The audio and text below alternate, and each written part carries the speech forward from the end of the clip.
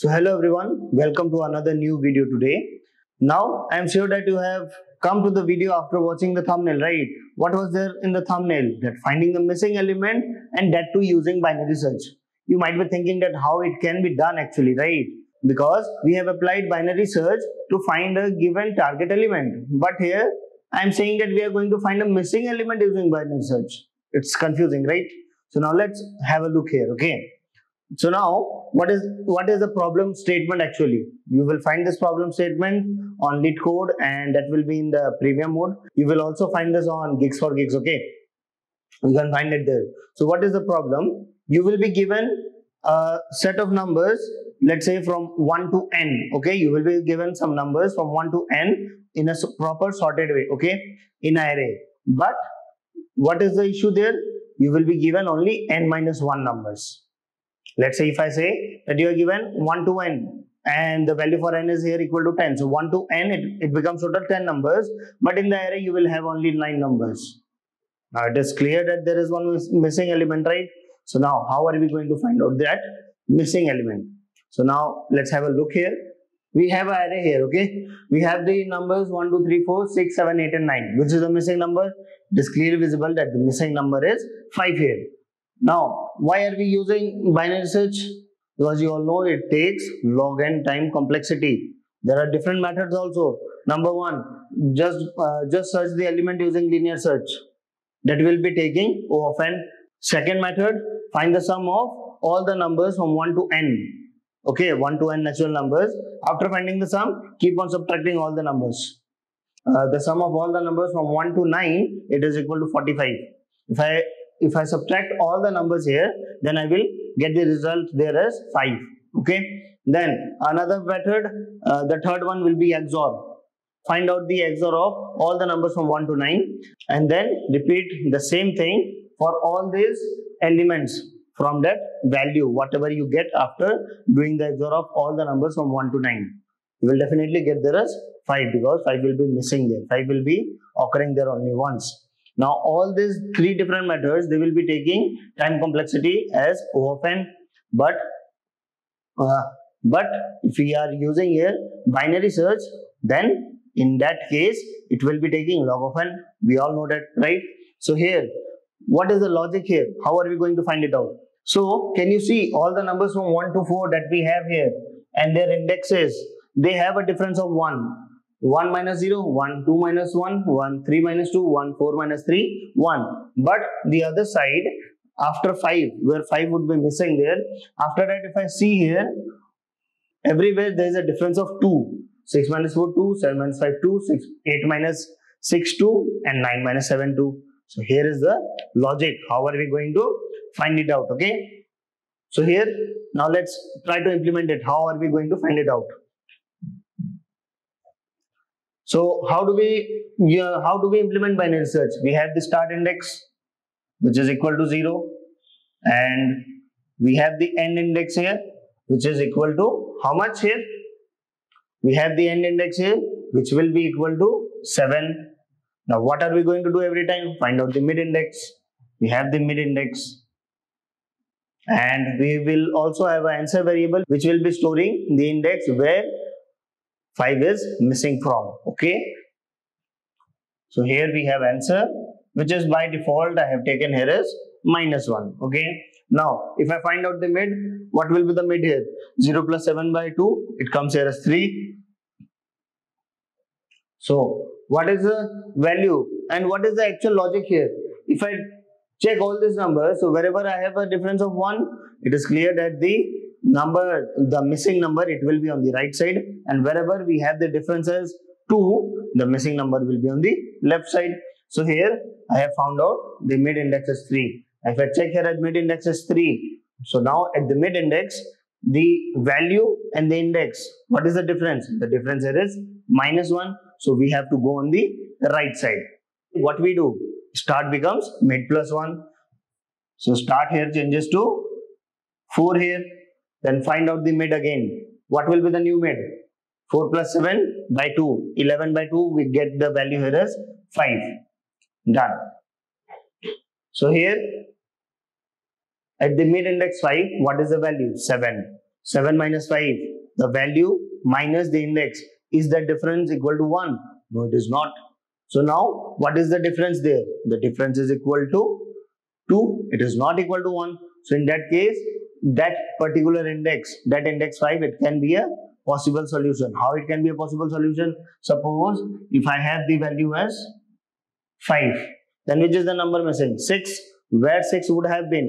If, if it was there in that array, it would have been at the index 5.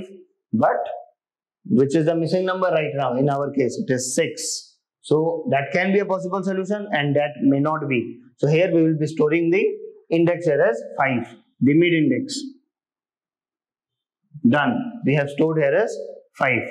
Now, whenever we are finding out and we get a particular value, then it is clear that the missing number will be on the left side. So go on the left side and changes to 5 minus 1 equal to 4. Done.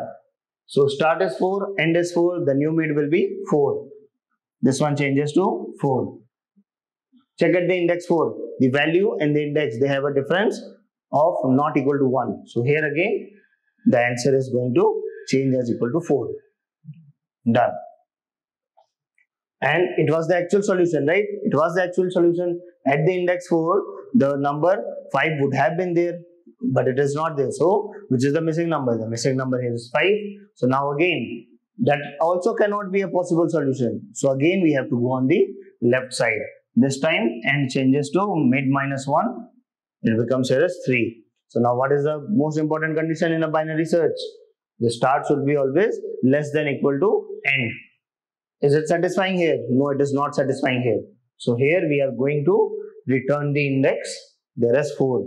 So if the index is 4, then which is the missing element? The missing element will be answer plus 1 every time. That's it. Okay. Now, suppose if I have all the numbers and here the number 1 is missing here. So now here in this case, uh, which is that missing number? The number is 1, right? 1 is not there. So here also it will be working perfect in this case. It will give us the result as the missing element is 1 itself. Now, what if I talk about the other condition? What if I have all the numbers and the last one I don't have? So here we have all the numbers continuous all the numbers, right? So here the missing number, if it is not starting from 1, then it will be 1. And if it is starting from 1 and we have continuous all the numbers, each and every value and the index has a difference of 1, then it is the last number, the new number which is not there. Okay, so in that case, the program that we are going to write, it will be returning the index as minus 1, which will be already stored in that answer variable. Because what will be the main condition here? The main condition here will be if the difference is not equal to minus 1, right?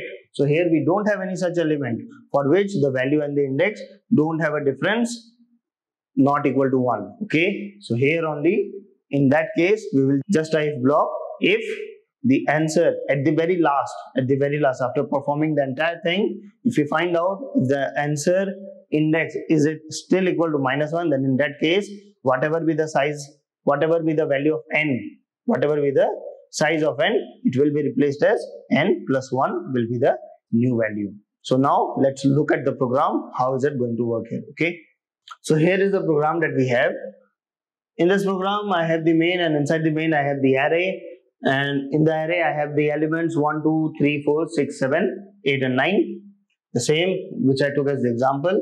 I have the integer size here as 8 and here I am printing the value. Missing element is and whatever be the missing element this find missing element function it is going to return okay? So now let's look at the code here the implementation. As we implement the binary search every time we need the start index equal to 0 done. We need the end index equal to n minus 1 done here we find out the mid index which is equal to start plus n minus start divided by 2 and then I have an answer variable which will be storing the value here as minus 1. Then the most basic and most important condition while start is less than equal to n and as we were discussing about finding the difference of the value and the index. So here at the mid index I have this statement here int difference equal to the difference between the mid value and its index. Then if the difference is equal to 1, then it was clear that we have to go on the right side. So go on the right side. How? start equal to mid plus 1. Next, if it is not, the value is not equal to 1, then what we had to do? We have to go on the left side. And before that, we have to store that particular index in the answer variable. So, in the answer variable, I am storing that index mid and then we are moving on the left side because it is not a guarantee that we are going to find out the missing element at that particular position. So we have to go on the left side as n equal to mid minus 1. Done. Then every time at every iteration we have to keep on finding the mid index. Clear. Now here as I was saying that there might be a problem where we have all the numbers from 1 to n minus 1. The missing number is that particular n. So how are we going to find it out? In that case, this entire program, this entire program, this entire code, is, it is going to return as minus 1. Answer variable will be still storing the value as minus 1. It won't be coming inside this else block at any point of time. So what will be the condition? If the answer variable plus 1 is equal to 0 or directly write here as if answer variable is equal to minus 1 then in that case the last element is the missing number, right? So we are returning here as n plus 1. n be the size of the array and then return there as minus 1. Done. And if it is not that case, then in that case, we simply return here as answer plus 1. Answer is that particular index where the missing number should have been, but it is not there. So this is it.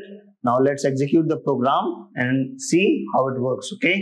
So here it is giving us the perfect result as missing element is 5. Now let's try changing some other values, okay? So here I have removed the number 1 here. If I have removed the number 1, I have given the number 5. In this case, it is giving us the result as missing element is 1. So now I have removed the element 2 here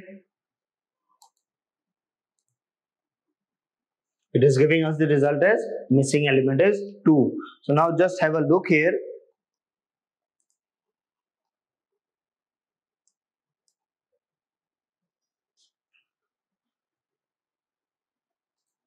I have commented these two lines where we were finding where it was the condition for the last element right? Where it was the condition for the last element. Now if I give some other input let's say I have all the numbers but I have removed 8 here. So now also it will be giving us the result. There won't be any problem here right now.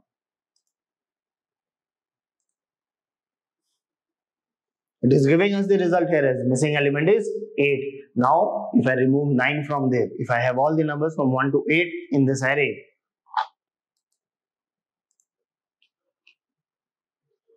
so now look here, it is giving us the result as missing element is 0.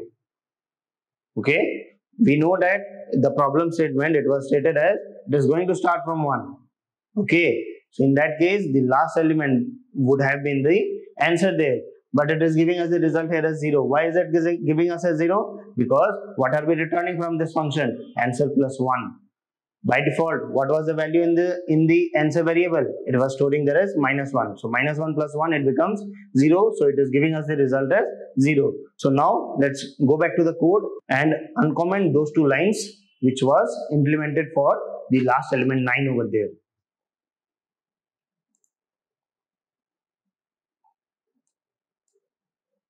So now here i have uncommented these two lines